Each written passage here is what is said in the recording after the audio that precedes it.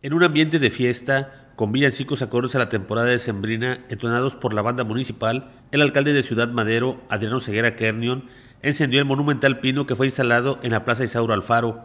Acompañado de su esposa Ana Cristina y sus tres hijos, el presidente municipal se dijo orgulloso de encabezar este sencillo pero emotivo acto, con algo de nostalgia, debido a la situación que estamos viviendo por la pandemia a causa del COVID-19, que no permitió una mayor asistencia de la comunidad maderense. Pues es un orgullo venir a prender el pino, el pino de la esperanza. Estos días son muy especiales, es un, es un mes y unos días que une a todas las familias maderenses. Me hubiera gustado eh, mucho que hubiera sido como años anteriores, invitar a toda la ciudadanía, pero no, no bajemos esa alegría.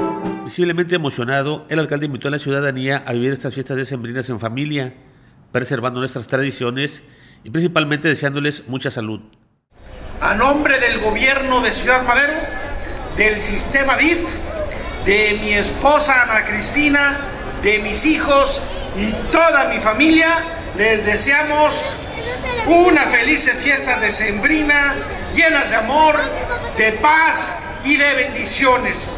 Muchas gracias y felices fiestas y que Dios me los bendiga cada uno de ustedes y que viva Ciudad Madero. Muchas gracias. Los asistentes disfrutaron además de un hermoso espectáculo a cargo del Ballet Folclórico de Tamaulipas, quienes emularon el peregrinar de María la Virgen y de José previo al nacimiento del Señor Jesucristo.